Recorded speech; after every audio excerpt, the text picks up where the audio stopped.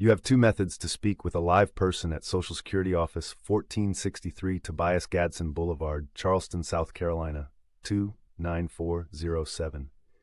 A shortcut trick is to dial 101.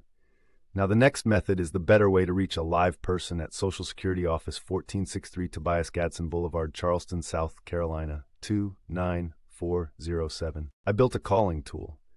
To use it, open up your browser, go to claimyr.com, and search for the Social Security Office 1463 Tobias Gadson Boulevard, Charleston SC 29407 option. Claimyr can automatically call any phone line for you.